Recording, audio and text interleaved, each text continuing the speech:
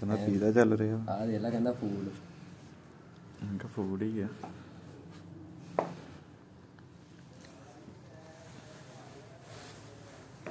ਯਾਰ ਜੇ ਬਣਾਣੀ ਹੈ ਤਾਂ ਚੰਗੀ ਤਰ੍ਹਾਂ ਬਣਾ। ਬਸ ਬਣ ਗਈ।